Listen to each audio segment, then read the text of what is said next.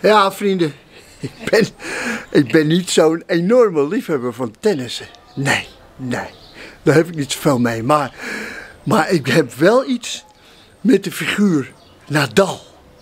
Ja, dat, dat... Af en toe dan kijk ik gewoon alleen maar... Ik kijk niet naar tennis, maar, maar dan kijk ik af en toe even een setje...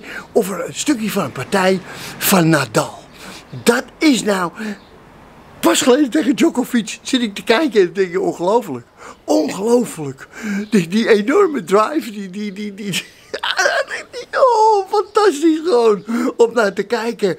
En nu ook weer in, in, die, in, in die halve finale, heb je dat gezien? Ja, en daar staat hij dus gewoon.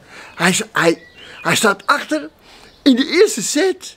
Ja, tiebreak staat hij 6-2 achter. En je denkt bij jezelf, ja, ik zou dan denken, ja, laat maar zitten. Volgende set, die is voor jou, 7-2. Nee, nee, nee, nee. Niet Nadal. Hij, hij zich terug en wint gewoon toch nog die set. Ja, hij is gewoon een inspirator met een racket in zijn hand. Je, je denkt dat hij tennist, maar dat is niet zo, vrienden. Nee, hij geeft een levensles op gravel. Ja, hij is de vlees geworden onverzettelijkheid. Nadal, dat, dat, dat is passie met koeienletters. Dat is een intensiteit. Dat zie je ook als je speelt. Het is allemaal dit langs zijn neus. Dan gaat die hand en dan gaat hij hier, dan gaat hij daar. En nog een keertje zo en zo en zo. Dat, is die intensiteit. Hij heeft die enorme wil om te winnen. Hij wil, wil, wil gewoon slagen. Ja, hij is, Nadal, is de mentale norm.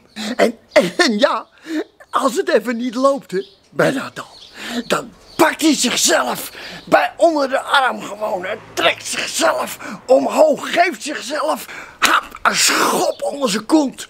Want vrienden, opgeven zal Nadal nooit. Echt nooit. Hij zal altijd doorgaan en nooit zijn kopje laten hangen.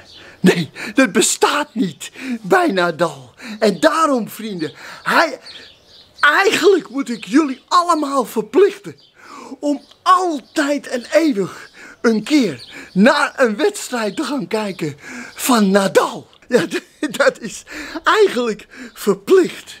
Want, want als je het even niet ziet zitten, ja, en, je zit er mentaal een beetje doorheen. Of de dingen willen niet lukken zoals jij het wil. Weet je, je krijgt niet helemaal de boel op de rails.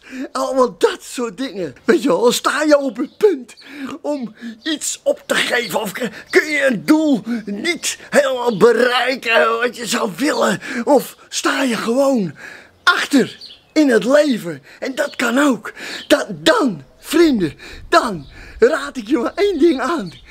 Kijk naar een wedstrijd van Nadal.